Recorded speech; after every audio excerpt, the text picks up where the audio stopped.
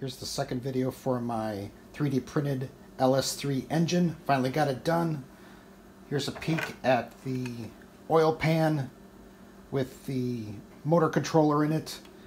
I drilled my holes for the starter and for the power supply a little higher than you're supposed to. I don't think you could get them down this low. I put the adjustment knob out the other side and the control board just kind of wedges in there underneath the connectors real good without any glue and it's also low enough to clear any of the rotating components um, that extend into the oil pan. I uh, printed out this engine crate here. It's in another video. After I made the engine stand, I really didn't like how high the engine sat on it or how tall it displayed. Wanted something a little bit lower profile. So I made this crate. Put the engine on it.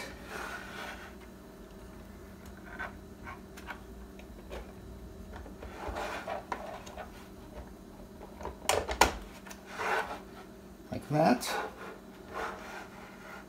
And on the other side here, you plug in the starter and the power supply. And it's already running.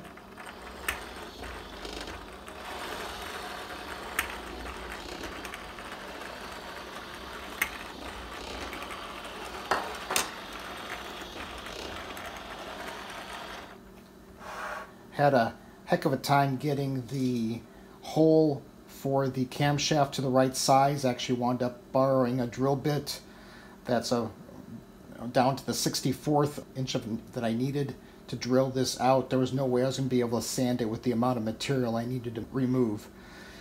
It was also difficult for me to get the timing correct so that the valves were closed when the piston was at its very top. Very little opportunity to get that correct and I finally did get it after messing around with it for about five minutes.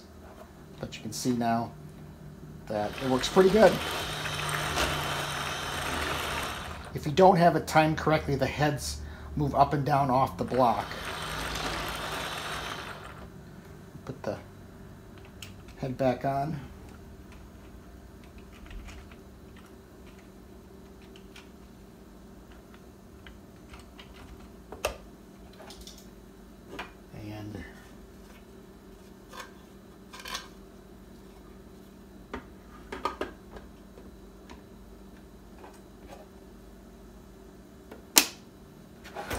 Oops, put that on the other way.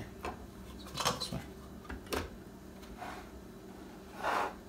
And we can put it back into the case. Top comes off the case.